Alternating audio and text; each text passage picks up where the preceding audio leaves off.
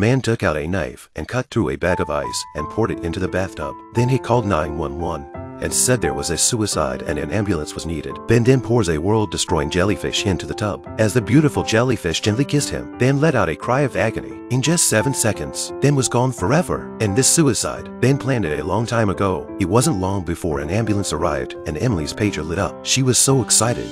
She wanted to share the news with Ben right away. But what she doesn't know is that the man who gave her the heart was her beloved Ben. The operation was a success. Ben's heart continued to beat in Emily's body. A month later, Ben's brother found Emily and told her all about it. It turned out that Ben had a fiancée, but on the way back to the car, he accidentally had a car accident. This led to the loss of seven lives, and Ben never let it go, so he decided to find seven good people who really needed help and extend their lives. He gave a lung lobe to his brother who had lung cancer, his right liver to an old lady, a kidney to a hockey coach, bone marrow to a boy with leukemia,